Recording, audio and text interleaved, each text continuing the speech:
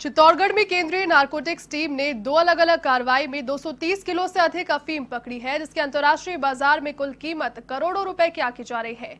जानकारी के मुताबिक केंद्रीय नारकोटिक्स टीम ने पहली कार्रवाई चित्तौड़गढ़ कोचा राष्ट्रीय मार्ग पर बस्सी टोल प्लाजा के पास की। इस दौरान उनके कार को रुकवाकर उसमें जब तलाशी ली गई, जिसमें 200 किलो से ज़्यादा अफीम अवैध अफीम जो है वो बरामद हुई तो वहीं कार चालक को भी इधर से गिरफ़्तार किया गया।